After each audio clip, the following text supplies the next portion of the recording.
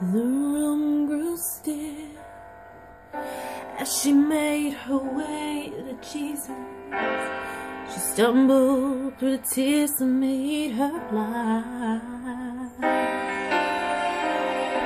She felt such pain, some spoke in anger, heard folks whisper, There's no place here for her kind. She came through the shame that touched her face until at last she knelt before his feet. And though she spoke no words, everything she said was heard as she poured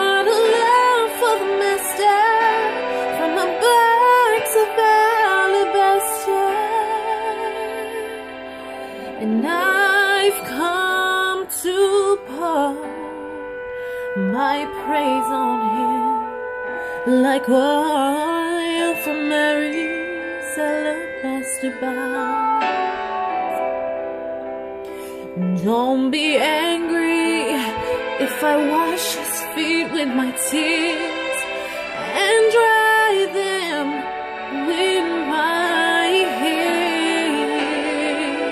You and